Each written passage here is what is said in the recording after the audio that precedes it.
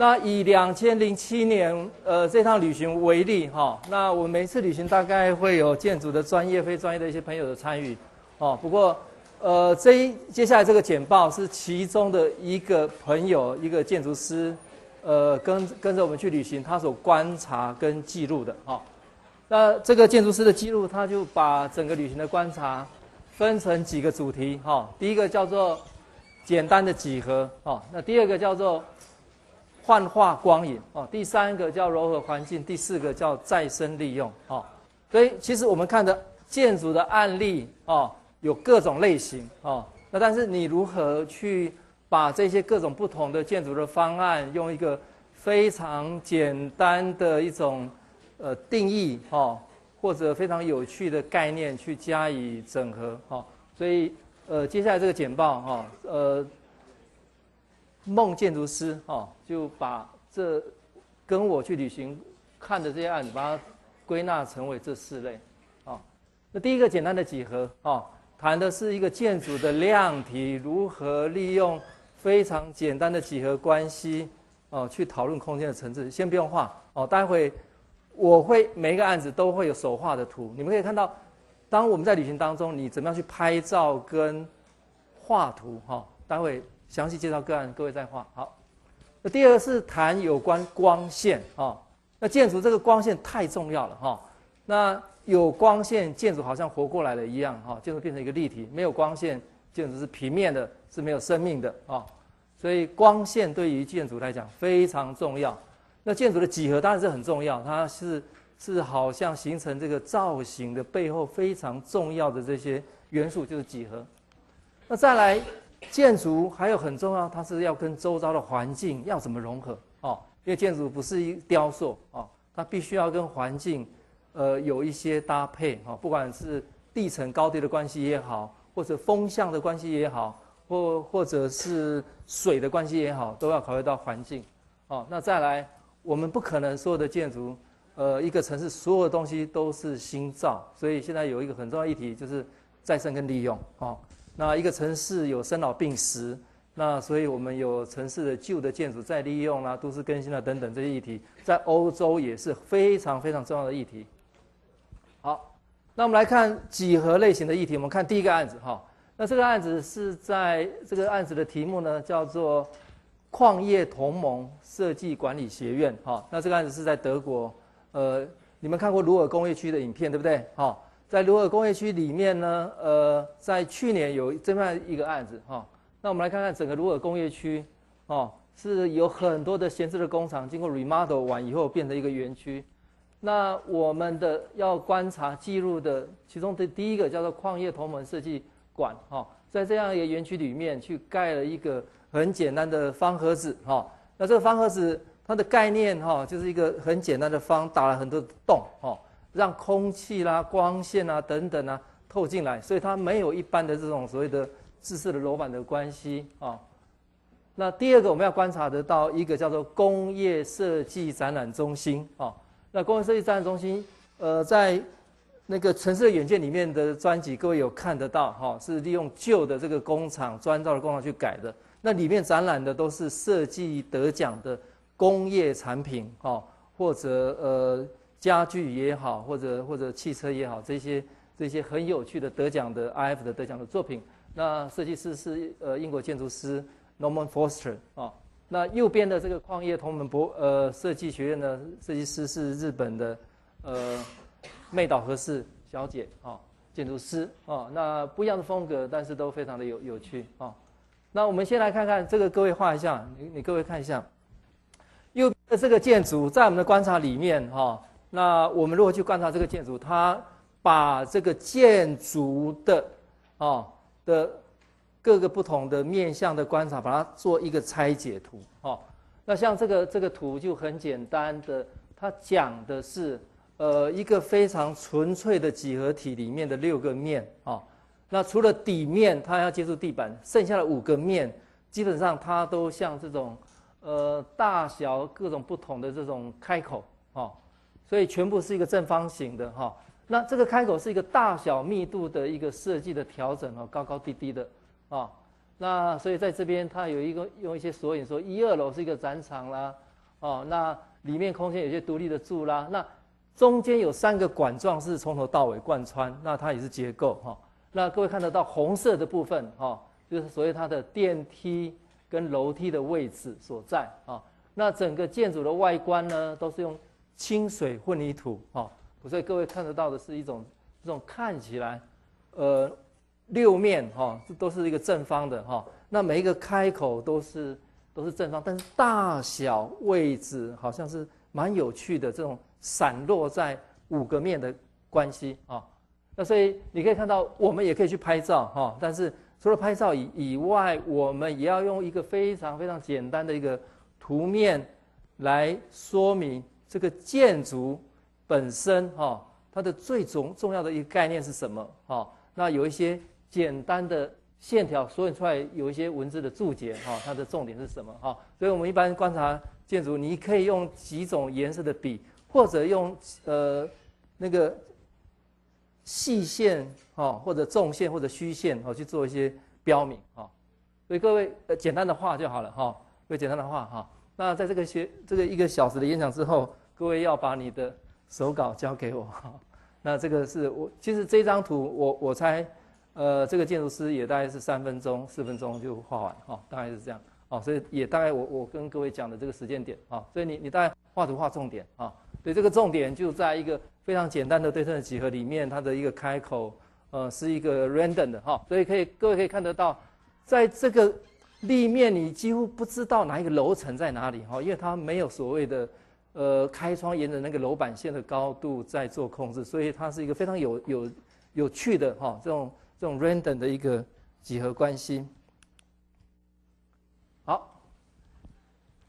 那各位可以看到一个比较清楚的照片哈，右手边是这个建筑师画。左手边是呃现场的拍照啊，因为我们不是上帝啊，我们没有办法到这个角度哦，由天空往下看。不过，因为我们从各个角度或者甚至进入到室内空间，我们知道的关系是这样子的哈，甚至它可以到屋顶去看到屋顶的开口是有四个洞哈，所以它可以去到最后做一个等角的哈这样的一个记录跟观察啊。所以你可以看到这个开窗很有趣的是一个 random 的哦概念哈。那在现场里面哈，在这个学院里面也有一个模型哦，用木头做的模型，哦，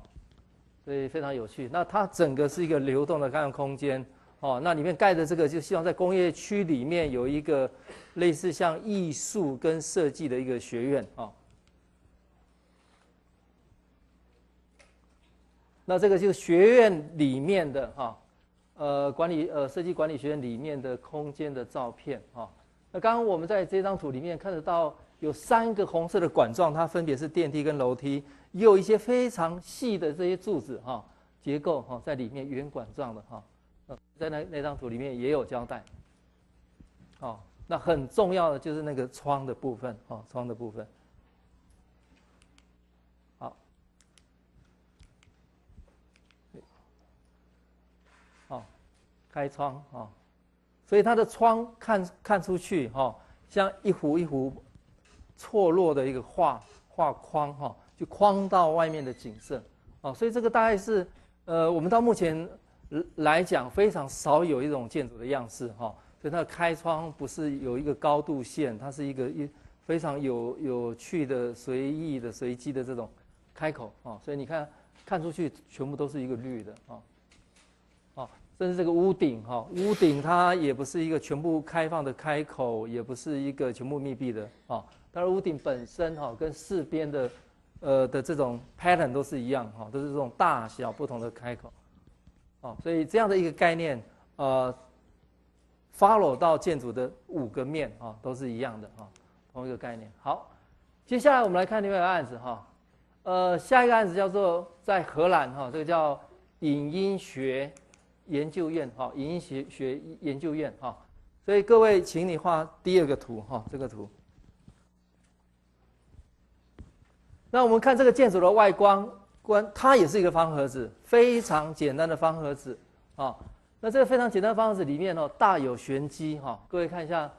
呃，这个建筑师画的一个等角的图哈，它是说，呃，这个空间呢，虽然它外观看起来是一个正方呢。但是里面你进来的整个空间，你感受感受得到一个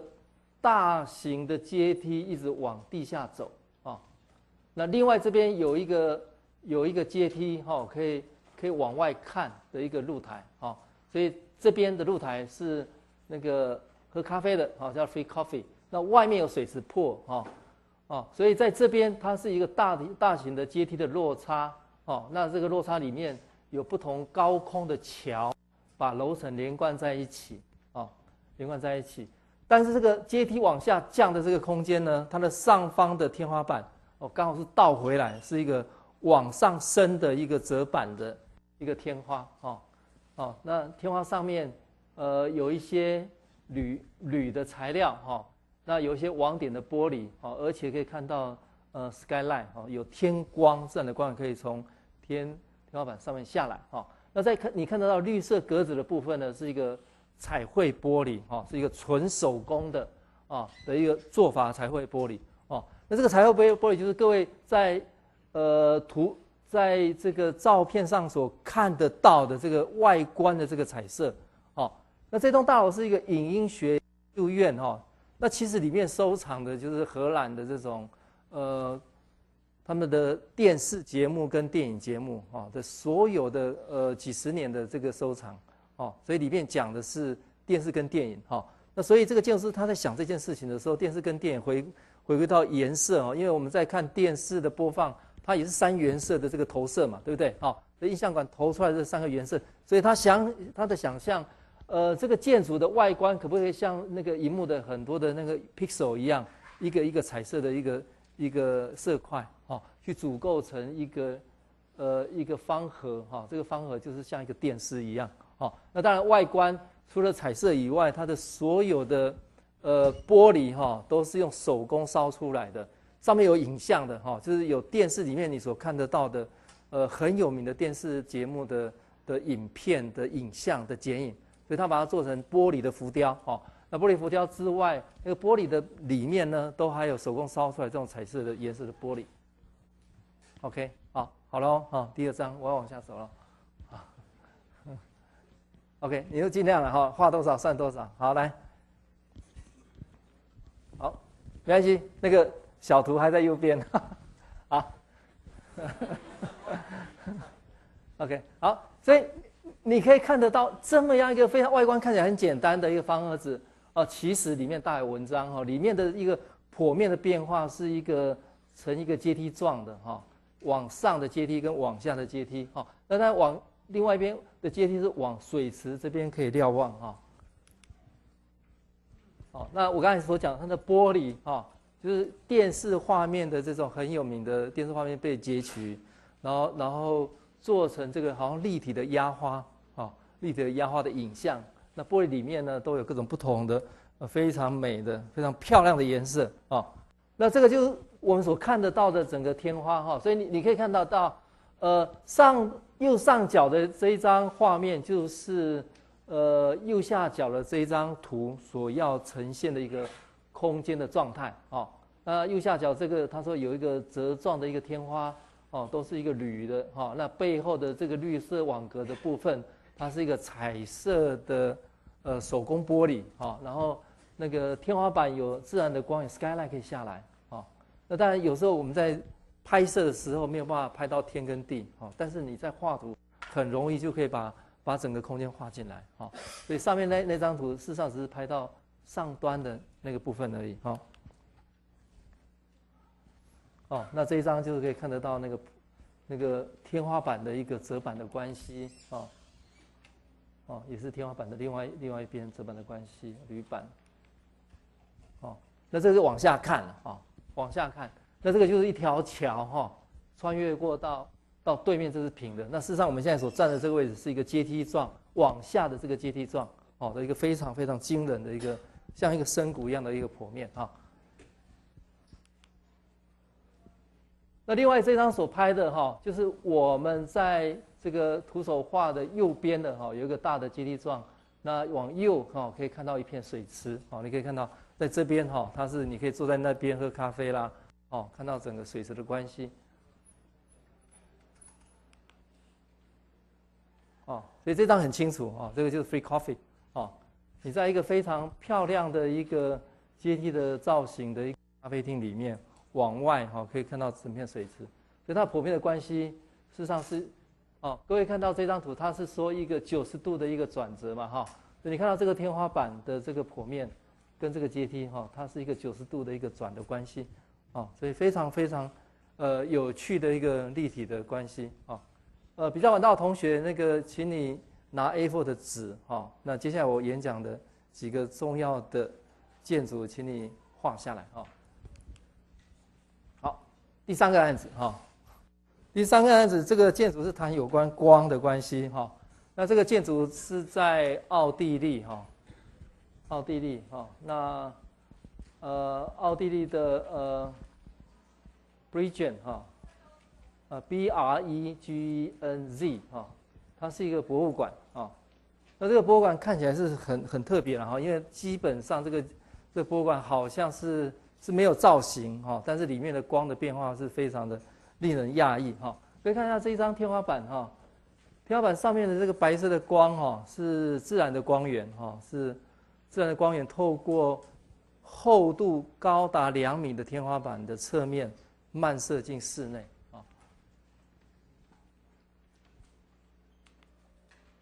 好，请各位画这一张图。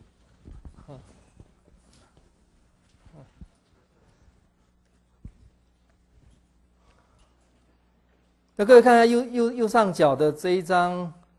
画面哈，那这个建筑基本上有两层啊，有两层啊。那里面那一层是用水泥做的，外面那一层是用玻璃做的哈。那楼梯呢就坐在水泥跟玻璃之间啊。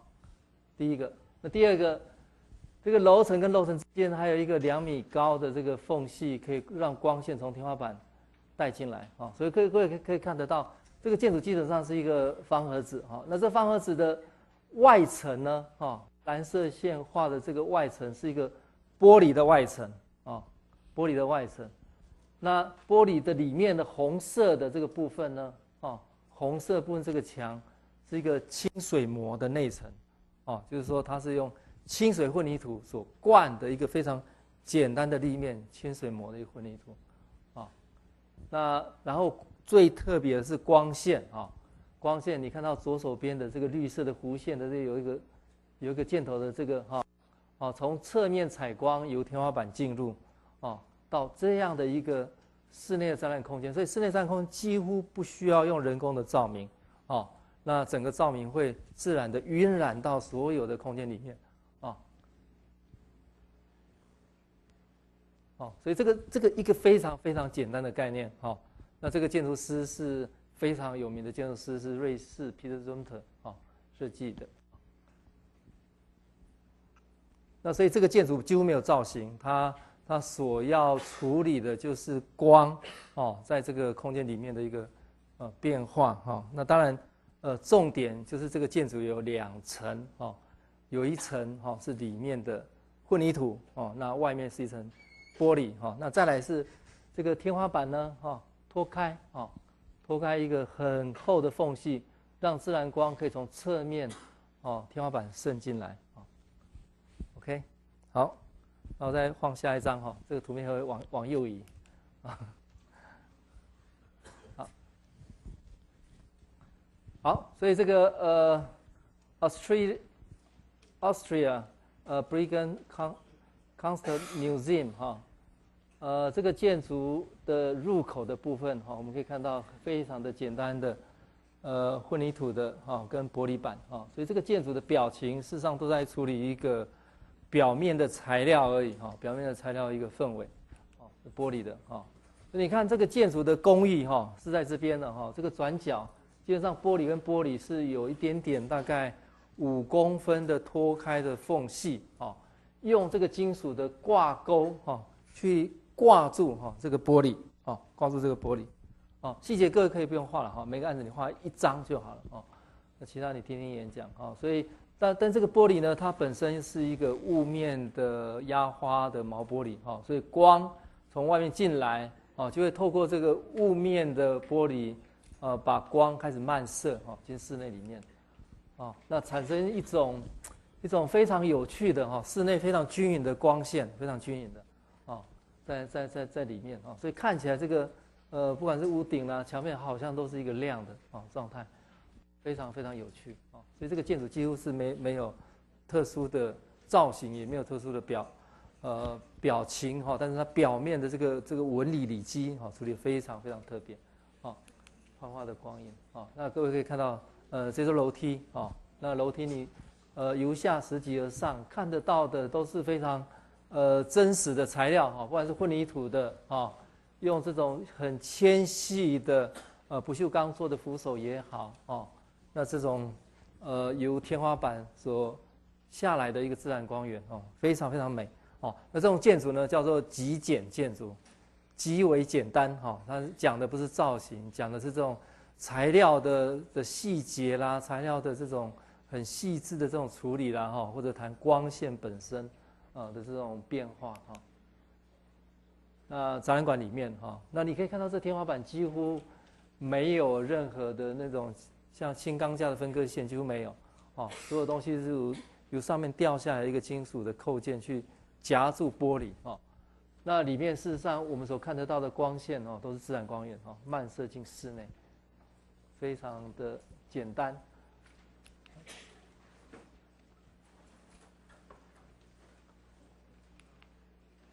OK，好，这是第四个案子哈，第四个案子。那这个案子呢，也在瑞士的山区里面哈，瑞士阿尔卑斯山山区里面哈，叫做内基哈砖美术馆哈。那这这个山区里面的小小美术馆，它它用了一些比较传统的材料哈，就是砖啊，还有一些木头啊，还有一些玻璃啊，去做一个。地方型的一个小小的美术馆啊，所以各位可以看得到，这个建筑基本上是一个看起来有点传统又有点现代哈。传统是它用了木木构造的材料，然后用了一些斜屋顶哈。那现代它它是做了一个很大的开口开窗在在这个呃在这个道路的这个这个 level 哈，所以你可以看到里面的美术馆的空间哈。那各位可以看到比较特别的是它的屋顶有一个玻璃的区域啊。那那个是一个特别的展览室啊，有一个全部用玻璃处理的一个特展室哈，各位大大家会看得到。好，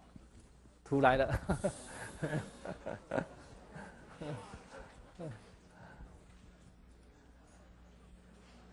所以这张图画的是上面的的那个玻璃的空间哦，它不是画整个美术馆，它画的是这个玻璃的空间，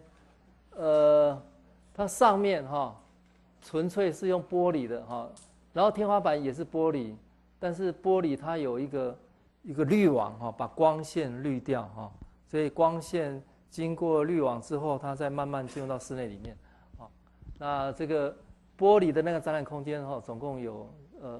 往下哈，总共有三个楼层，啊，有三个楼层，啊，所以它三个楼层，二楼跟三楼之间哦，有有有一个在中在中间有一一个很长的楼梯上来。哦，所以各位可以看到玻璃的天花啦，哈，玻璃的地板，哈，在二楼的部分两边，哈，蓝色那个部分是玻璃的地板，哦，那绿色部分是是讲光线如何由屋顶的这个玻璃天花一路贯穿到二楼的地板的玻璃地板，一直到一楼，哦，一直到一楼，哈。最主要谈的也是光线，哈，各位可以看到这个木构造的。的房子，它如何让光线从三楼的屋顶一路渗透到一楼？哦，那当然除了屋顶做玻璃以外，二楼的这个楼板的两边，哈，是做玻璃的地板，哦，所以光线可以透过局部，哈，透过呃玻璃的地板，哈，再再往下，哈，漫射到一楼的展览空间里面去，啊，那它以这张图来讲，它不是画外观，哈，它等于是画这个。最重要的哈，整个展览厅的光线如何由呃上端的三楼哈穿越过二楼到一楼哈，哦，那各位也可以看到这个这个画面，一个非常优雅的感觉哈，一片绿地，那入口这边这其实是一个水哈，水流用钢做的哈，啊，那入口是用水泥的一个门进来，有一些呃木构造的建筑的呃立面啊，那其实这个就是一个。呃，除了光线的利用以外，它也是一个新旧融合一个很好的案例，哦，非常非常优雅的一个建筑。好了，缩缩缩小到一边，还有还会再停留一阵子。那里面的空间呢？哈，各位可以看得到，呃，其实，呃，不只是呃亚洲人喜欢木构造哈，尤其日本啊。那但是欧洲哈，呃，他们也喜欢木构造。其实木头是一个非常，呃，环保的材料哈，因为它是温暖的哈。那它它是自自然生产的，它的生产不浪费能源，啊，所以各位可以看得到这种这种木头的这种，呃，非常朴实的质感，它不是贴皮哈，它是真的留住原来木头的这种非常粗糙的纹理哈。去做这整个构造，所以非常非常美哦，因为它它的材料也好，它的一个构造也好，非常的真哦，非常真。哦，那各位可以看得到里面这种空间，就是我刚才所讲的是呃复合的哈，有一些部分是水泥的哦，也有金属的哦，也有玻璃的，也有木头哦。那当然这个木头是一个比较呃粗犷的，很诚实的，不是贴皮的哈，不是拿来当做。压花的哈，当表面的这个装饰材，跟台湾很不一样。台湾这种木头是拿来做装饰的哈，不是拿来当做建筑本身的材料，这个就很不一样。啊，呃，看了这张画面哈，我们可以对照的所谓的这张速写哈，二楼的这个玻璃的地板啊，所以各位可以看得到天花板的那个玻璃的哈，哦，各位可以看得到那个绿色的线。的光线哈的方向是从屋顶的这个斜的玻璃天花一直下到二楼的玻璃的地板，一直到一楼。所以你在一楼参观展览的时候，哎，你忽然很讶异，光线不晓得从哪边来哦，原来哦，它是一个屋顶所漫射下的一个自然光源，哦，所以以以这个为案例的话，它是非常小心在处理光线如何在这个空间里面流动，哦，所以你你可以看到它的光线要流下来都都是靠边边哈，所以这些画的部分是亮的。哦，但是中间的人要有点距离，要休息、要观赏的部分是比较暗的，哦，所以他他想不不见得整个房间都要亮，哦，是画的部分要被看到是有光线，那其他中间是可以比较暗的，哦，那各位看得到这座楼梯就是它速速写里面的中间的这一座楼梯，哦，是要往三楼那一座楼梯，那这座楼梯有什么特别？哦，你看这个楼梯本身呢，它也也是用玻璃做的，哈，你感觉到它在空间里面它是。不妨碍视觉哈，而且光线可以穿透，非常非常优雅啊。那这个楼楼梯的结构也是一个很轻盈的、非常细致的一个折线的这种钢材哦。那把玻璃的这个横板就跨在上面而已啊，非常非常简单的、优雅的、精准的设计。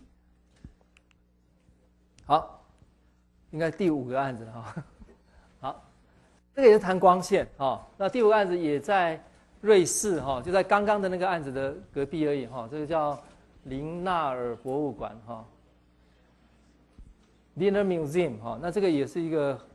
很漂亮的一个小的美术馆哈。那看到这个建筑有什么特别哦？你看它的屋顶都有一点点斜的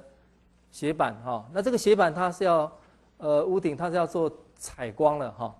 那美术馆的采光呃通常它做天光都朝北。北哈，那因为北北方的光线不会直射啊，所以它光永远非常稳定，哦，而且它的光不会过亮，伤害到艺术品画本身哈。所以我们如果看到美术馆如果有天窗哈，它通常来讲都是朝北哦，都是朝正北哈，因为呃太阳不管是春夏秋冬，它大致是从东南到西南，尤其是北半球哈，那一定是东南到西南。哦，那所有的美术馆的开窗天天光一定是朝北啊，所以它有一个这样的一个构造。好，来第五张图。好，那你你可以看到这张图，它所画的不是画建筑的外形，它画那个美术馆如何透过朝向北方的那个玻璃斜面去采光。哦，那那个采光如何？进入到室内里面来啊，所以由上方的各位画一张就可以了哈，这有两张，随便画一张啊。那也就是说，展览馆的主要的是一个类似像一个呃像一般的房子这种有两两边斜角的剖面啊。那其中往北边的这种斜角呢，屋顶呢，哦，它有一片哈，一片的这种呃玻璃的可以采天光的哈 skylight 啊的这种框架啊，那其他的里面就非常非常简单啦哈，那呃画哈就在就在墙面上哈，按照眼睛视觉的光高度去挂而已，啊，那呃在转角放了一些椅子啊。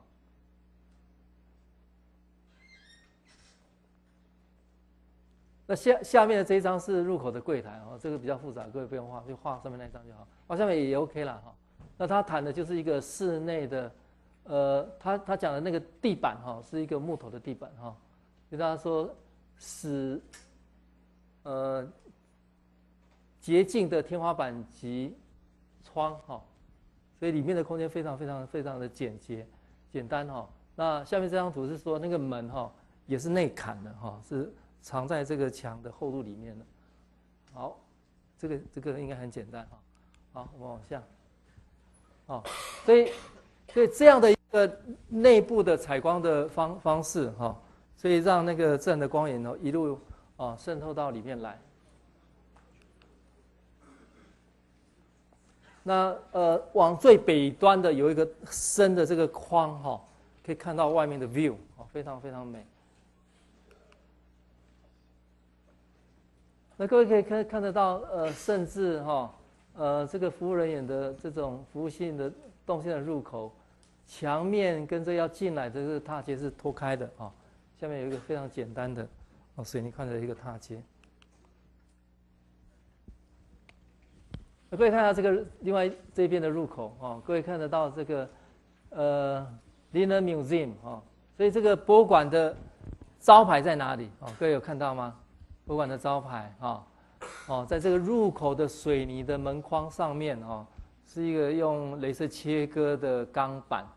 非常非常简单的一个做法啊，非常简单的一个。那这个是入口的柜台啊，就是刚刚的下面的这一张第二张画的这个空间哈。那柜台它有一一整排的这个木头的柜子，非非常简单的分割啊，那。那所以你可以看到那个 lighting 哦，是藏在那个墙的缝隙里面啊，去漫射哈，就间接反射到天花板。所以整个空间是非常简单的、优雅，在谈很多的细部的处理哈，体的流动啊，所以你可以看到地板是一个水泥水泥粉光的地板而已哈，那整个。呃，柜子是用很简单的木头哦，那墙面看看起来就有一些光哦在里面流动。那尾端的那个窗哈，可以看到外面的绿地哈。那所有的椅子也也是这种很轻的这种薄的线条哈，在空间里面。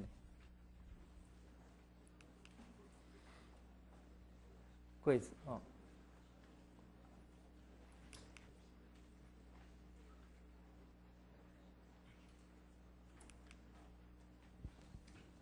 所以你可以看到，呃，一个概念是从头贯彻到到底，啊，包括这张椅子，啊，这张椅子那么简单，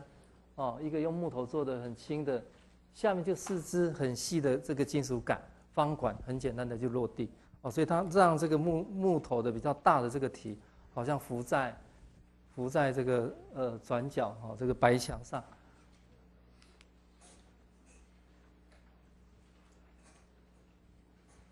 那当然，里面的画是比较抽象的哈，比较现代的，瑞士的一些画家。那这个就门框哦，各位看得到的这个是 Sketch 画的这个门框，哦，所以它的门框是看不到了哈，因为它全部收到墙墙的厚度里面来了哈，所以看不到门框，好，门框就收在收在墙内了啊。好，那个呃，要不要先接一下电话？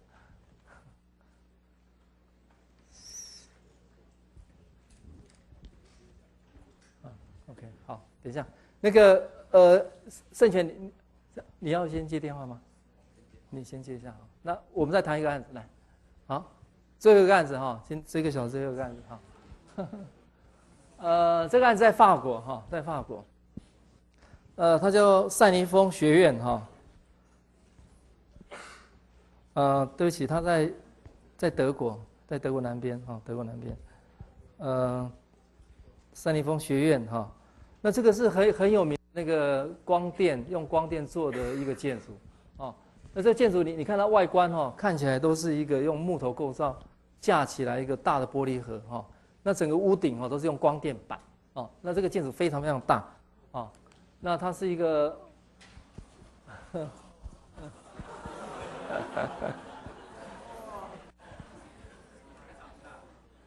非常大，呃，它是一个呃学院呐，哈，它也是一个研究能源的一个学院啊，能源的保存啊，环境的环环境的一些人类环境的一些研究了哈，所以这个这个这个图可以看得出来，那这个红色的哈是木头的结构，哦。那看起来把这个拉开的哈，那个是玻璃框哦，很大的一个玻璃框。那玻璃框的上上端都是一个太阳能板啊，太阳能的一个太阳能板的一个交错哈。那这个整个空间里面呢，等于在玻璃体里面还有很多小小的建筑哈，个别不同的使用的单单元哈。那中间有一条水哈，一直流流流灌到流到这个室内的大的玻璃盒里面去啊。那每一个题可能是一个教室。可能是一个办公室，可能是一个餐厅，哈，等等，哈。那这个建筑非常非常的巨大啊，但是里面却用了很多环保的、哈节能的概念，啊。它的很多的玻璃是可以打开的，哈，让风可以自然的对流，哦。那人走在这个太阳能板的下方，因为它的太阳能板也也不是全全部都是太阳能板，哈，它有做成各种不同的 pattern，所以你走在里面，好像那个。呃，呃，走在云下面一样哈，因为云是这种比较变化的、比较流动的、非对称的啊。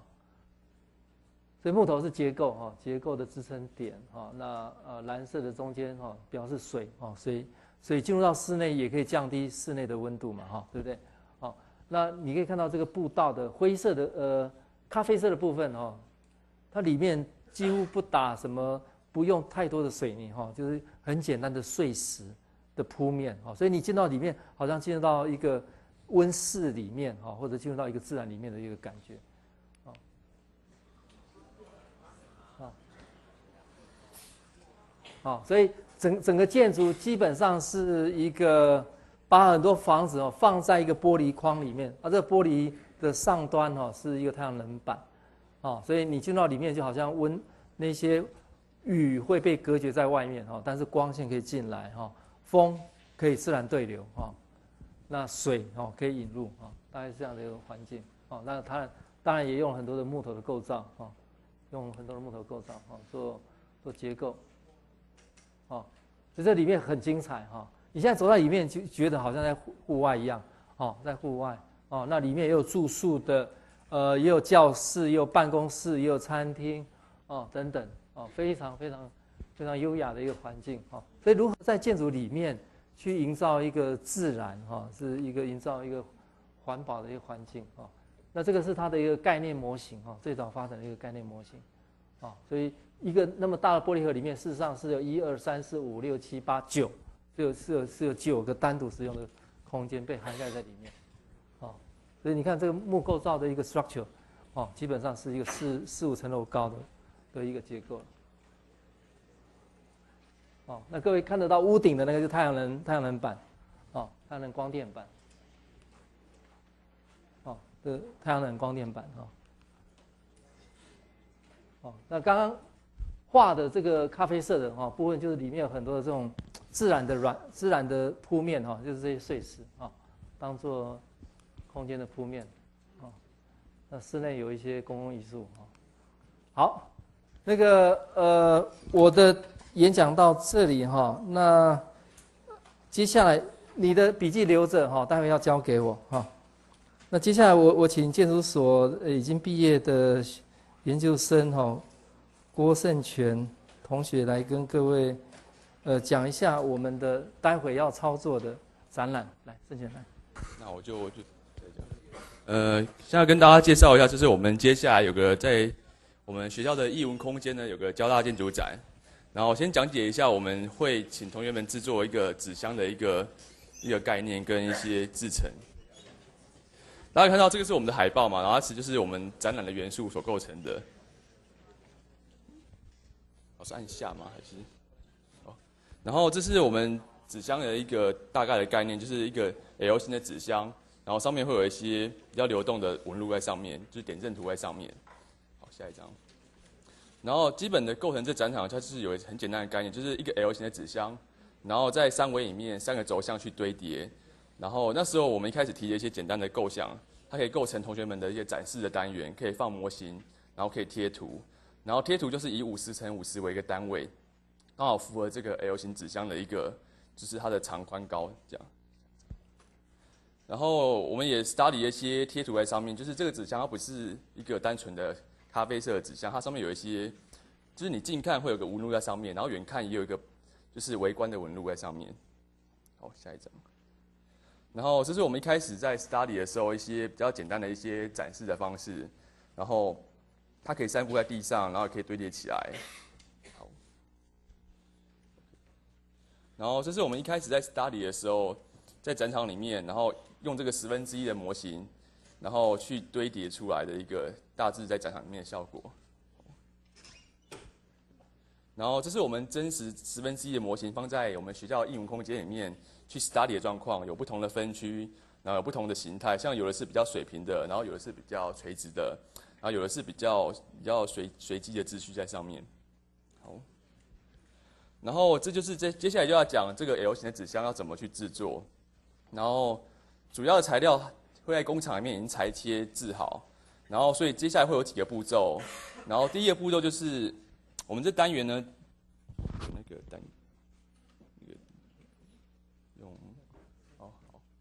呃，大家可以看到右右上角的这张图，就是它有分成三个部分。然后第一个部分就是那上面有个一小片写乘以十六的，那是在 L 型纸箱里面的一个卡接之后会变成一个像格栅板的单元，它总共会有十六片。然后再来是分成两片的那个，底下看到有一片是宽度是一米七，一个是这个这个五十公分的这个这两片。然后第一个步骤就是把我们里面那十六片那个卡接的八片八片卡在一起，然后接下来就变成两片，像右下角这张图一样的那个两个片的那个，就是像是格栅板的那个的部分，然后把它粘起来，就是它垂直的粘起来。然后接下来就是把另外我们会封成 L 型的外外壳把它胶合起来，然后。大家可以注意到左上角那边是有两个长度一样的五十公分乘五十公分的地方粘在一起，因为有一边是五十公分，然后一边是六十公分，大家只要注意把这个两边一样的，就是把它粘在一起就可以了。然后刷上白胶之后，再把它用手压大约一分钟左右，它就会粘住了。然后再是我们第四步骤，在第四步骤就是接下来把剩下的那个边把它粘起来，就是像上面看到还没有粘起来的，然后再把它。也是一样，在那个结合的地方刷胶，然后再压起压一下，也是压到一分钟，它就会粘住了。然后接下来就是把我们刚刚先前垂直九十度把它粘起来的那个蜂巢板、那个隔栅板，把它塞到那个我们粘好的那个外壳里面。然后塞进去之后，它会刚刚好，然后再把两侧的那个那个 L 型的那个封边把它封起来。然后看到右下角这一张，那个红色的那个虚线就是要涂白胶的部分。然后涂上这个白胶之后，就是可以完成最后一个步骤了。下一页。然后最后一个步骤就是用你的手，然后上下跟左右把它压住，也是压大约一分钟。然后最后大概让你们拿背包或什么之类在上面压，它就会固定住了。然后这样就完成了我们的纸箱。然后这是我们这个展场那个展示单元的一个制作的流程。那个因为材料还没到了哈，所以。我们继续演讲哈，等到了我们再出去哈。那个下一个案子谈的哈是建筑跟环境的关系哈。那这个作品是日本建筑师安藤忠雄的作品啊。那这个也在德国哈。那在在德国，呃，这个案子叫做朗恩基金会美术馆啊。那安藤忠雄案子都都是很简单的几何形体的，呃，关系再加上水哦，或者天空哦，或者光影。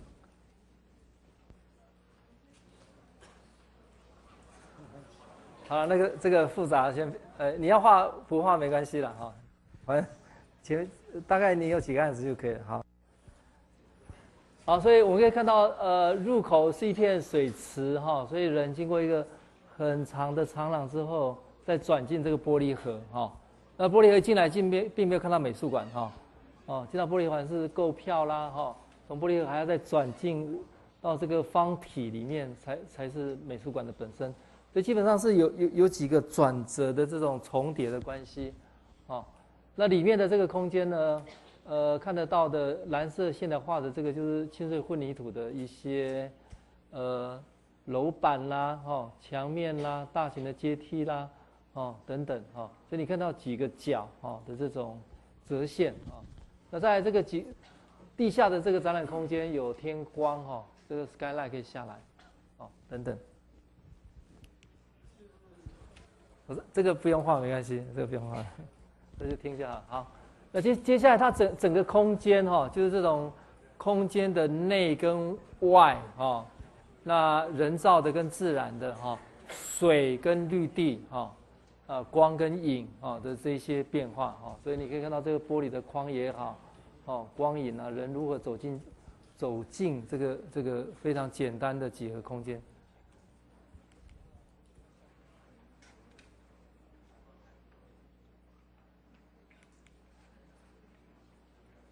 哦，那这，那这整个基地原来是那个北约哈，北约的一个基地哦，北约的一个基地。那因为呃苏联瓦解了以后哈，那北约这一基地就军事的用途就失去了哦，所以他们把这个军事的基地慢慢改转变哈，改行为文文化的一个艺术村或者美术馆哦，那。朗安基金会是其中的一个作品，所以你可以看到这种这种呃，好像在大地里面哈镶进来的一个建筑哈，包括这种阶梯哦，在一个大的绿地里面哈，草坡哦等等这种这种很长的这个楼梯哈。好，OK，呃，接下来这个案子不用画哈，这个案子不用画。哦，它是一个地景艺术。那这个是在呃荷兰的阿姆斯特丹的郊郊区哈。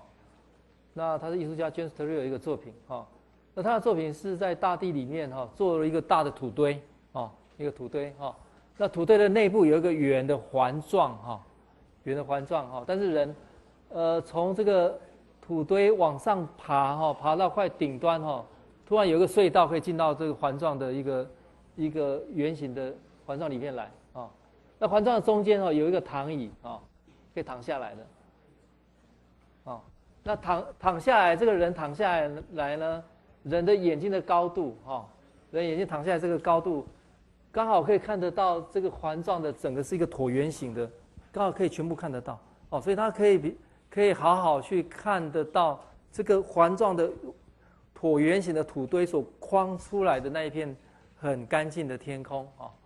哦，所以它是用人的视觉哈，来计算人的视觉这个角度，刚好躺下来这个角度，刚好可以看得到整个圆的这个所有的完整的边框。那你你你坐的你没有办法，因为受到视视角的这个影响。好，那接下来这个作品，好，这个请你们画哈，这个很简单了哈，这个够简单的这个案子。那这个这个案子非常非常精彩，也非常令人感动哈。那这个作品呢，是也是瑞士建筑师 Peter Zumthor 的作品哈。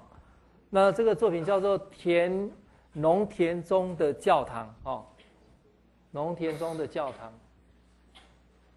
那各位看这个这个案子有什么哎，有什么特别呢？你你看这个作品哈，嗯，这个外观哈看起来很不起眼哈，它就是一个水泥块而已嘛，对不对？哦，那事实上这个建筑是一个。五角形的哈，五角形的一个一一个作品，那它是在一片田野中盖出来的一个很小的教堂啊。那这个教教教堂用了一种工法哈，叫做那个夯哈，水泥慢慢灌哈，灌灌起来哈。那这个这个是农民他们去盖的教堂哦。那当然建建筑师他他做怎么样设计呢？他先请农民哈在这个田的中央用木头的树干哦，去立成一个类似像圣诞树一样的一个圆锥状哦，立起来啊，然后他它外面再用模板每天浇灌哈，每天浇灌大概三十公分的高度啊，那分呃好像分几大概几个礼拜灌哈，所以总共。呃，好像是二十八，二十八天还是多少天哈？所以灌起来大概一个大概五五层楼高，不是，呃，大概一个将近五米高的一个教堂。但是事实上它基地很小哦。那那空间怎么办？里面原来这个木头的空间怎么办？用火把空间烧掉。所以它里面的空间是用火把木头烧掉出来的空间。所以那各位可以想想想看，那个基本上这个建筑的。的一个建造是一种仪式性，哦，农民本身哈用木木木棍哦，用那个木杆哈去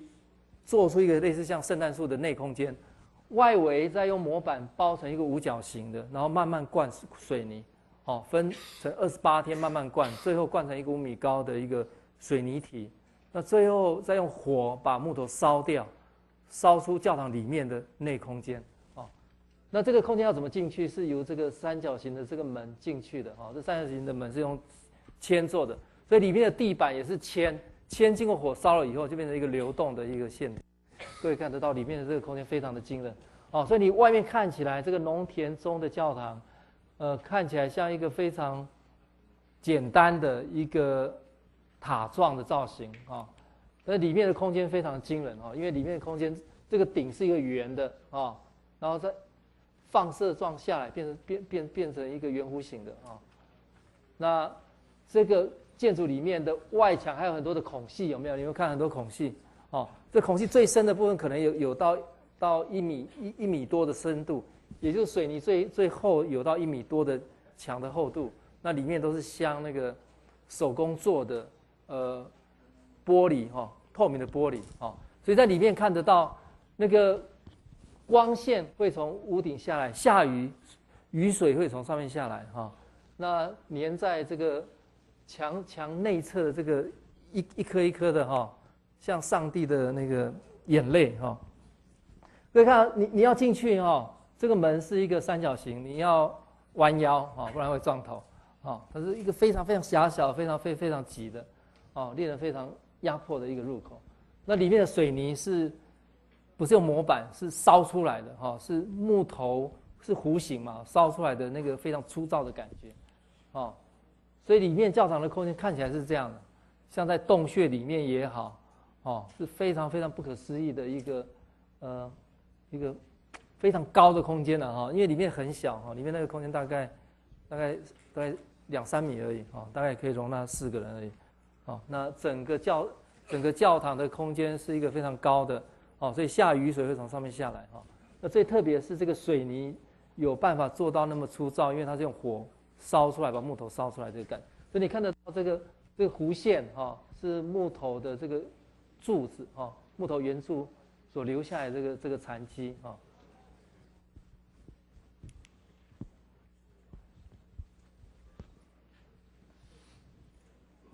那在墙上，呃，这个水泥好像呃。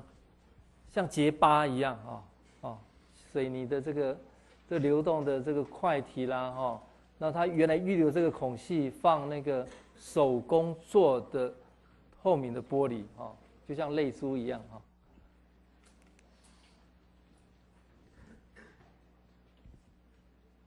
那里面空是简单的不得了，哈，但是非常震撼，哈，非常小，但是非常非常的呃。那个纯粹的材料的哈，或者有关谈光线的，或者空间的这种对比的震撼，非常非常非非常精彩哈。皮特·森特哈，那皮特·森特案子不多哈，但是每一件的作品几乎是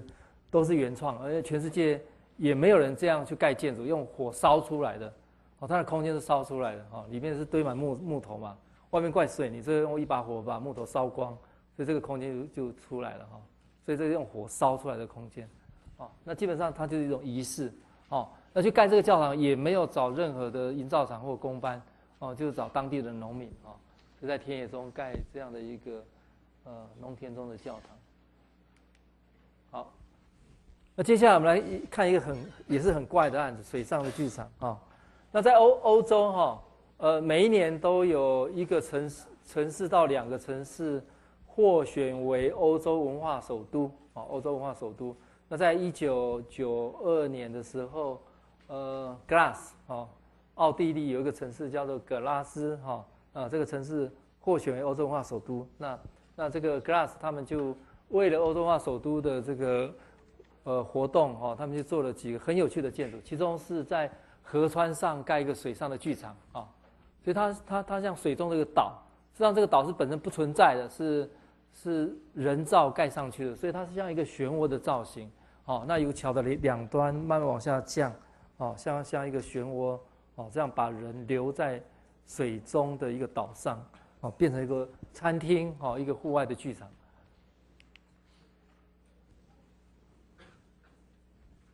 那那这个。呃，现在已经是那个当地的地标了哈，当地的地标。好，好，那个可画可不画哈。我建议可以画画看的哈，有点挑战。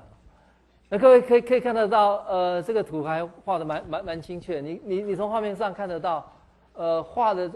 红色的部分哈，是一个桥，也是人连贯河的两岸的一个路径哦。所以它一一般我们一条桥一座桥是一条线，哦，但是这个路径为了要营造类似像水流流动的这种速率也好，或者波纹也好，它刻意的在这个形体里面做了一个扭曲挫折。那当然这是我稍微往下降，降到快到水面的，哦，稍微绕过了哦这个餐厅，转到半圆形的剧场的边缘，哦，再往河的另外一岸。慢慢往上走啊，那红色的部分是河上的街道，他认为这个是街道，这不是一座桥哦，只不过这条街道是跨在河上的一个很美的一个 ribbon 啊，一个一一个廊道啊。那再来呃，有两个圆嘛哈，这个绕过一个像 S 型一样哈，绕过了两个圆，那其中有一个圆哈，呃，这是一个餐厅哈，所以这个餐厅是在。就是可以接触到水面哈，所以它有一个缓波螺旋呢，降到一个水面水面左右的一个餐厅在前端啊。那后端有一个呃半户外的一个圆形的户外的音乐台，是一个户外的哈，户外的哦。那它中它中间的部分还有一些儿童的空间哦，滑梯啦哈，利用拉锁拉出来的一个儿童的一个溜滑梯等等，啊。那这个这个建建筑不是一个完全密闭的，它是一个半覆盖的哈。各位看得到，餐厅这个部分哈是是有一些弧形的构造，上面是玻璃的哈。那转到另外一边的那个呃户外的音乐音乐台的部分，那个半弧形的的构造就由屋顶转到外围这个墙面哈。就这个非常有趣的哈，它不是盖两个房子哈，它是一个，但是由一个一个表面慢慢流动到。从屋顶的形状慢慢流动到侧面，哦，所以它相对也也反映那个水哈，所以我们一般看那个水这个这个流下来那个那个漩涡哦的立体的这种流流动的轨迹一样，哦，所以这个是非常非常有趣的惊人的哈。那当然这种案子要盖盖出来是是一定是一个结构上的一个挑战，哦，如何在水上盖一个水上剧场，哦，所以各位学土木的啊，呃。水不止只有防洪做堤防，把人隔在外面而已。水是可以清净的，可以利用的，可以可以用不同的想法去去营造。哈，OK 了哈。好，所以这个就就就这几张画面就很清楚的，呃，左上角可以看得到，它几乎是在河河中河中的一个岛。那这个岛是非常的优雅的浮在上端，那这个桥缓缓的下来，到这个岛上形成一个 S 型的一个一个回一个回绕，哦，那包括连户外的剧场，它都把它做成一个波浪状的，各位看得到，哦，这个座椅，哦，像一个大地的这种流动的波浪状的这个阶梯，啊。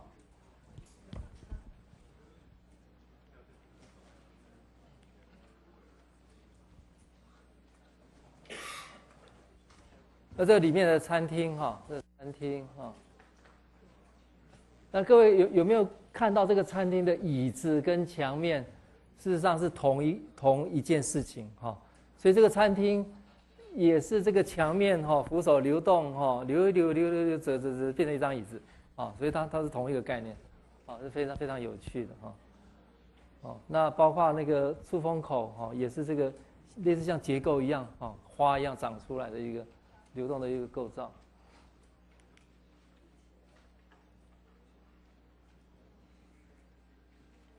哦，那这座非就是蛮美的一座桥哈，下来转个弯，哦，再上来。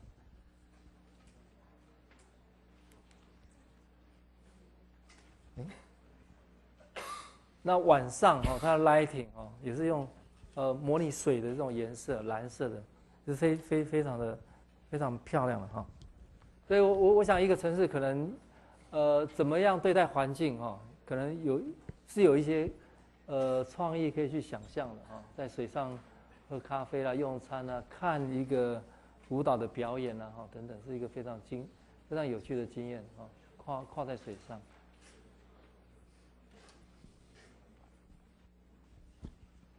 哦，那台台湾还没有看到这种案子哈。台湾的那个那个是把一条桥漆成七种颜色哈，啊，这样彩虹桥啊。好像也在新竹周遭就有了哈，或者把一座桥红色哈，那个叫美化啊，啊，所以我们的创意都是那种图腾式的哈，一种很呃呃颜颜色的哈，那个就叫设计啊，所以我你可以知道这个有多大的距离啊，谈要要到那一天有多大的距离啊，有多大的距离啊，我们的水岸都是隔绝的哈，就是人很难亲近，因为到墙就就是切死了，人没办法亲近的。好那再来，我们来看另外一个案子哈，叫做呃，在布拉格哈，捷克呃首都哈，非常美的古城叫布拉格，有一个很有趣的案子哈，叫做 Dance House 哦，它是一个呃叫飘舞公寓哈，那它它当然是很有名的建筑师 Van Gary 的一个作品啊，那就在河岸旁边哈，所以他希望在河岸旁边，呃，这座公寓的姿态像一个舞蹈者在。跳舞哈，所以你完全可以看得到，呃，Van Gary 在这一落的这种长形的这个街道里面，它延续的这个街道的开窗的比例哦，但他希望在转角的部分哦，这样的一个非常严谨的工程的规规则可以稍微被扰动哈，就像舞蹈哈跳舞那个运动哈那个裙裙哈摆开了哈飘哈的的这个感觉。那刚好这座建筑也在巧的这个第一个端点上，啊，所以很适合来来做这样的一一种很轻盈的优雅的一个舞动，啊，所以你看到这个窗到这边就就就开始飘起来，哦，开始流动了，哈。那包括它在建筑立面上的一些线条，哦，也是一样，尤其在这个中间的这转角的玻璃的这个电扶梯，啊，那各位想想看，这个已经呃十五年了，啊，十五年前，哈。可以盖这个这这样的一个作品，实在是，呃，非常惊人啊，非常惊人，非常了不起。哦，那这个电扶梯啊，中间的一个电扶梯。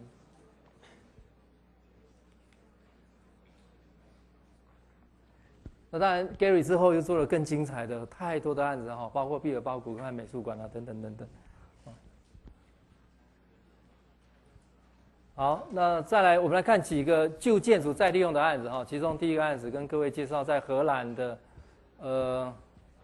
有一个是教堂 remodel 的一个饭店啊。那它就在那个呃荷兰的最南端有一个城市叫马兹垂克啊。那各位如果念过历史，知道马兹垂克有订过二次大战战后的公约嘛哈。那这个教堂，它呃被呃欧洲其实很多教堂，事实上呃因为经营的关系哈，它没有办法再维持，所以他们就释放出来，让财团去做 remodel 改成饭店。那这个大概是我看过呃质感最好的一个饭店啊。那当然它透过 remodel 哈可以好，那可画可不画哈，相对这个还蛮简单的哈，各位可以看一下啊。那基本上整个教修教堂哈，呃，右边的这个 bar 这个背哈，呃是是主要的那个教堂哈，教堂哈。那红色的这个楼板是新加的，各位看一下哈。所以这个原来的这个教堂后端的这个合院哦，是那个修饰他们住的地方，哦，那前面的这个有点圆弧形的比较高的屋顶哈，哦，这个是一个是是一个主要的那个那个呃教会做仪式的空间哈，所以这个空间因为高度很高哈，呃，所以它在二楼的部分加一个红色的楼板哈，就是我们在右下角看得到这个餐厅哈，那当然在红色的楼板下面。它还有呃 check in 的地方啦，哈，还有那个吧台等等，啊，不过如呃如何把这个建筑外观原封不动保留，但是里面它事实上全部都 remodel 掉，啊，那绿色的楼板连贯的部分是房间，啊，那很特别的是这个建筑它又做了一个新的新的通道，是用一个金属做的，哈，前面有一个绿色的，哈，它有一个叫做。呃，像一个井形的入口，像一个脖子一样的。哈，穿入到这个旧建筑里面来，，OK 了，很简单了哈，啊，所以简单的就是一个旧的呃被保留，然后加了楼板，加了一个入口哈。那在这个呃端点之下啊，是一个酒吧啊，是一个吧。那我刚才讲的哈，就是这个入口的像井形的入口哈，这个就是我们在左上角看得到的这个用一个金属的一个管状的，哦，像雕塑穿越过这个旧的建筑，哦，到里面的空间，哦，所以这个是一个非常大胆的尝试，也是一个非常非非非常有设计感的的做法啊。它不只是保留旧的，它让新的非常细致的这种雕塑，哦，这种像井形的拱状的这种。这种通廊的经验哈进来，而且这个金属它可以把光线反射在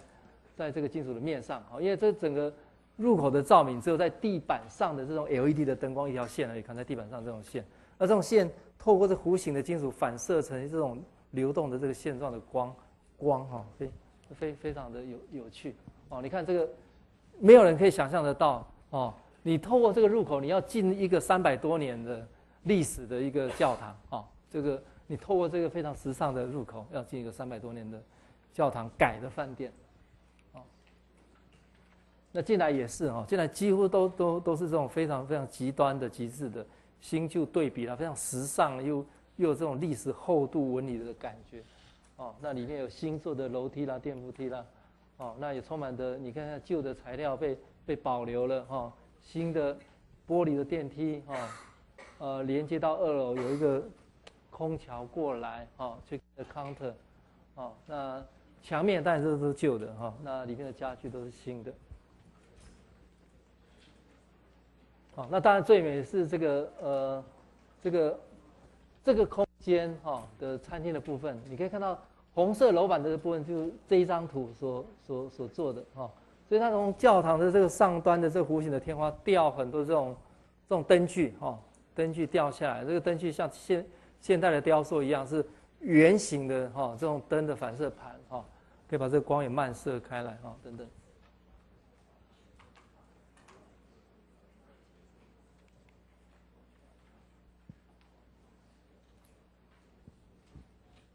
那因为它提供了一个二楼的回廊的空间哈，所以你二楼也有图书阅览室啊，在这回廊的尾端啊，那所有的家具都是英国的。呃，设计师 f r e e s t a r 所设计的啊，啊，非常时尚的啊。那一楼的原来是在那个礼礼拜礼拜堂圣殿的那个端点上，啊，被改改成 bar 啊，所以有酒柜。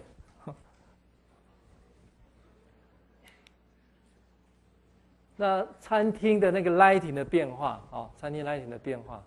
哦，用用 LED 的灯哈，LED 的灯啊，非常的。非常的美哦，所以它固定一个时间会慢慢渐变哦。那一个一个不同的角度的哦，这种盘子像一个雕塑一样。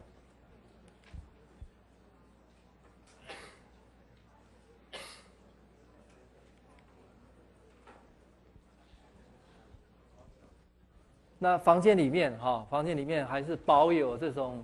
呃旧的哈这种非常小的老虎窗哦，那在里面的家具哈都是比较现代的呃简洁的啊设计。好，接下来我介绍一个非常非常特别的案子哈，呃，有一个品牌哈，它叫做呃 f r e t i g e 啊，那 f r e t i g e 它是做什么呢？它是做包包哈，做做袋子。那它做包包做袋子，它强调是环保，也就是说它不去生产新的东西，它它专门针对欧洲哈这种货柜司机哈他们。他们货物的外面包的这种帆布哦，大量收购下来，重新剪裁，做成包包哦。所以它讲的是一种环保回收的再使用，但是每一个包包都是独一无二的，就是你买的那个背带哦，它一定注明你是从哪个货运公司的哪一台车的哪一个厂牌切下的那一块哦，所以每一块的颜色都不一样哦。所以你买的可能是花了三千块买一个很旧的包包哦，但是。你买的这种环保的概念，买的是这种独一无二的哦。那它的袋子的这种背带都是安全带，哦，就是说很多的废呃废弃的汽车，它把安全带解下，安全带事实上是一个很坚固、很耐用嘛，哦，所以它的背带都是用安全带哦。所以当当他在想象他的在全球的旗舰店，他他怎么怎么来设计哦？所以他全球旗舰店就就在苏黎世的的郊区哈，就找了一个。一个工业区里面，哈，去设计的用货柜堆起来，啊，作为他的旗舰店，哈，那货柜本身就不是额外再去盖嘛，哈，它是用 recycle，哦，非常有趣的概念，啊，所以你看，你看得到这个以为是货柜，那其实它是一个很有名品牌的一个旗舰店，啊，所以这个这个建筑的做法完全反映它的产品的背后的理念，哦，那。那各位如果有有有兴趣哈，可以把把这个品牌抄下来，哦，这在台湾还没进来，不过可能这一两年可能会进来，哦，那在欧洲非常的非常流行啊。那基本上就是货柜哈叠在一起，然后把里面空间打通哈，那所所有的东西也也都是这种组合的活动式的，啊，可以看得到哈，所以所以这个每每每一个都都是一个像抽屉一样。这抽屉一抽抽开哈，就是一个包包。那个包包里面会有解说，它是分别是从哪一个呃哪哪一个卡车的哪一个厂牌的那一块布截下来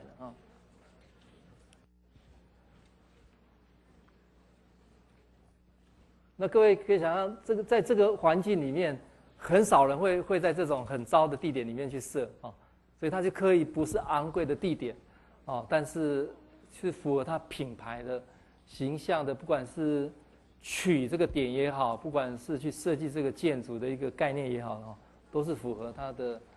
呃环保的概念啊。所以我们可以看得到，呃，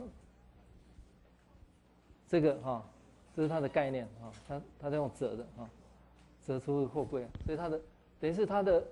它的建筑是这种可移动式的东西重组以后使用的。好那这个这个呃，接下来这个案子哈是，呃，刚才讲的在鲁尔工业区里面的另外一个案子哈，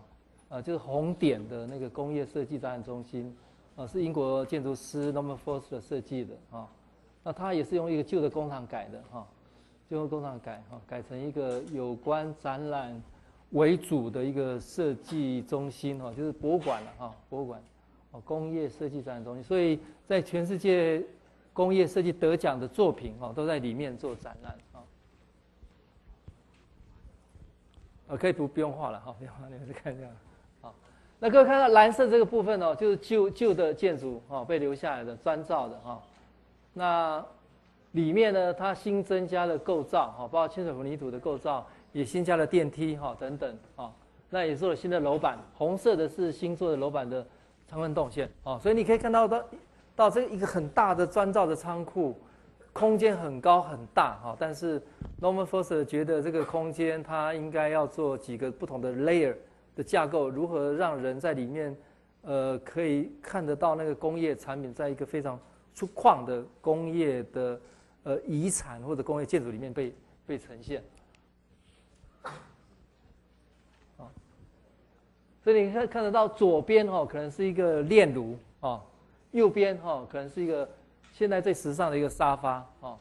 那或或者这个可能是一个窑啊，那中间放的是一个现在最时尚的一个流行设计的脚踏车啊，哦，或者汽车哈，它用吊的，哦，用平放的，放在这个一堆机器的中间的这个廊道，哦，所以在工业的这种遗产。呃，遗迹建筑里面展现代的哈，这是工业历史的工业遗迹，展现代的工业设计的产品，是一个最好的对比，哦，是那种粗糙的跟精致的对比哈，时间新跟旧的对比。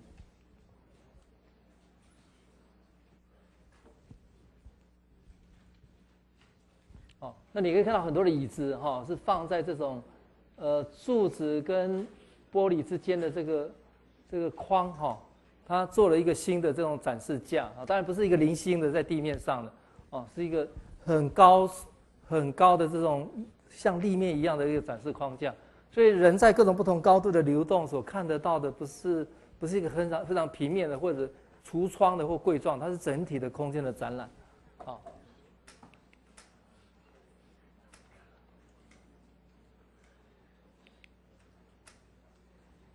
几乎全世界得奖的任何的家具、马桶、用具、脚踏车、汽车，任何东西这边都有哈。就所有的这几十年来得奖的所有设计的产品都在这里。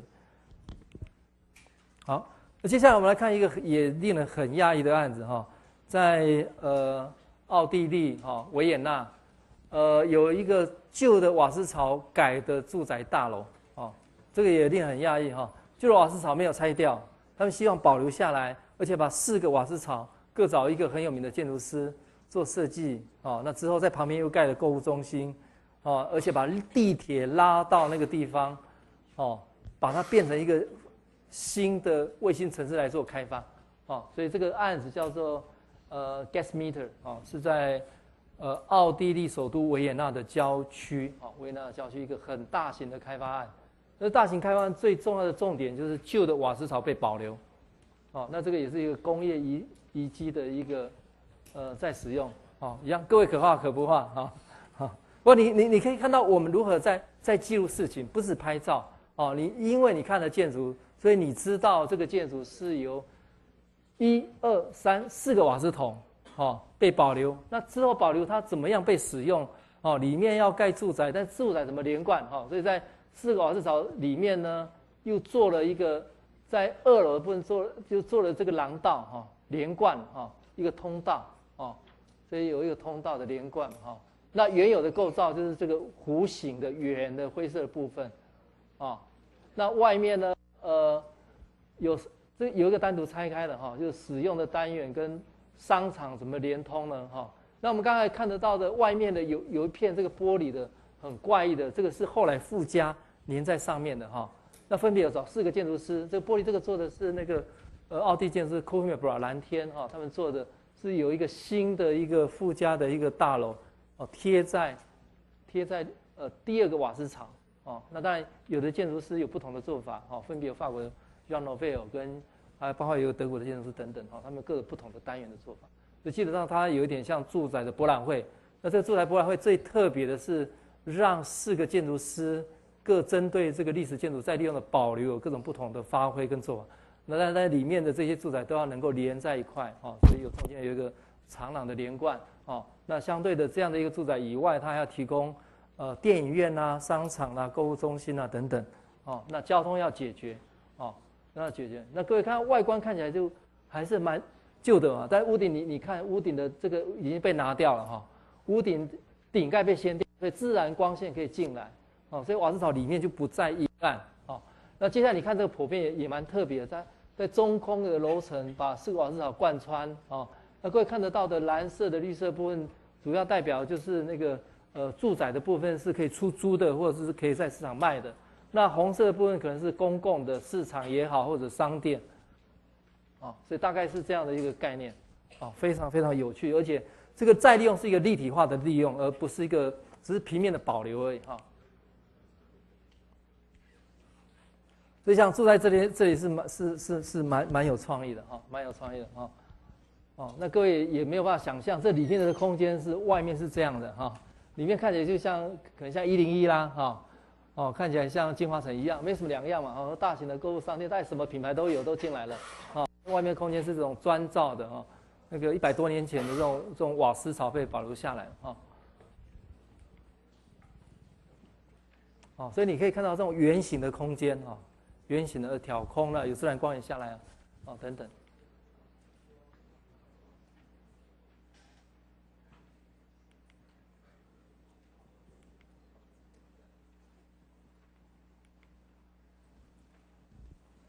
哦，所以这个是，呃，人类既保留历史，又对未来生活形态，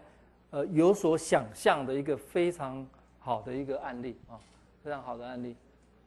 那我认为台湾的房地产开发就是非常缺乏想象啊，我们有什么罗浮宫啦，哈，有什么美和市啦，哈，那房地产广广告都都是非常夸张的啊。但是对设计的深度来讲，跟环境对应的关系，呃，对历史的尊尊重等等，是几乎是零，啊，那对公共空间的这种关怀跟照顾就是没有，啊，那它的豪宅都是那种昂贵材料的堆砌，哈，从头到尾都是铺石材，哈，那百万的厨具，哈，那对外部空间很少做比较有趣的，呃。塑造啦，或者去去讨论营造等等啊。那这个是这个案子旁边的商场啊，旁边的商场。你看那彩色的玻璃，非常有趣的啊。好，那最后结尾啊，还有一些零星的哈，街道家具啦哈。所以这个事实上这个是一个报告，这是一趟旅行，那个是呃跟我去旅行做的一个整理啊，生活的杂技。哦，零星的啊，所以你可以看到，我我们看看东西、画东西哦，然后转成那个相对的关系。所以，所以这个是学建筑的人，呃，怎么样去记录一件事情？当然，拍照一样拍，然后还有比较细微的看一些比较小的细节，啊，那小的细节，呃，这个材料怎么收啦？哦，那它的概念是怎么样？很多的小的，哦，小的点力扶手啦，哦，那个柱子怎么做啦？哦。等等啊，就是很多的手稿哈，瑞士山区的小木屋了哈，那它跟环境的关系，山是怎么样，哦，风是怎么样，哦，这个都都是手手画，你才有办法了解，哦，很多很多的手稿哦，所以当然拍拍照是最快，但是你要了解那个空间内涵，要透过手，要透过手，所以我认为如果这一门课对任何同学有帮助哦，如果有一点点帮助哈，就让你们。可以动手啊，这个这个还蛮还蛮重要，啊，那呃像这个是呃另外一个我们住的饭店啊，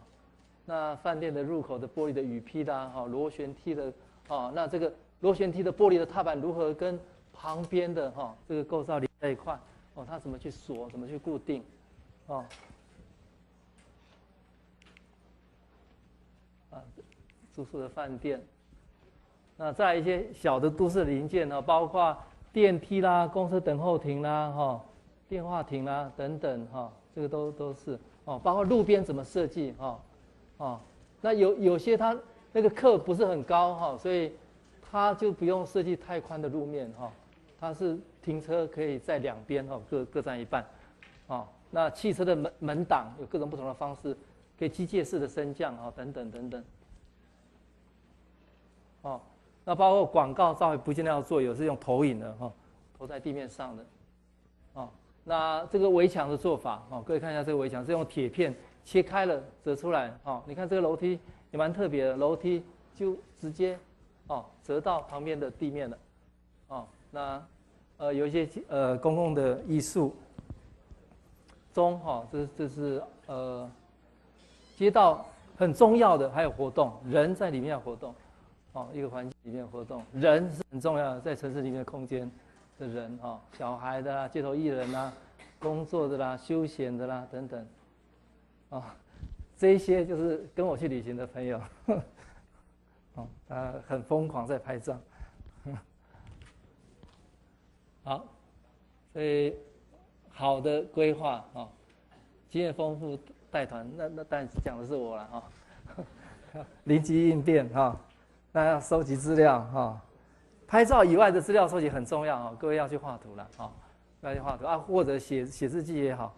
啊，那当然第六个是大家旅行都想要比较简单的哈，就是 easy 哈旅行方式。好，呃今天演讲到这里哈。